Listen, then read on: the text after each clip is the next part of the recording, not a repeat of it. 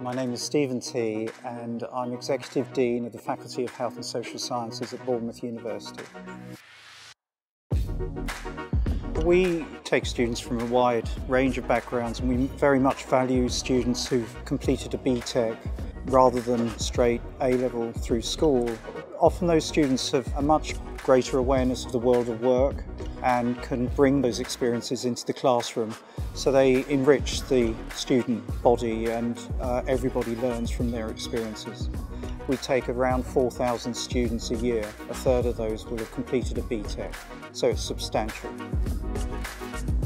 I think increasingly the health and social care professions want people who understand the world of work, who understand people, particularly in health and social sciences. That's why the BTEC students are so valuable to us, because they've had that exposure, they understand people.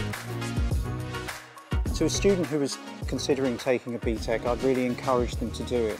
I think it's an ideal preparation for many of the professions that sit within my faculty in health and social sciences because it prepares them well for the world of work and enables them to succeed in those professions. I choose BTEC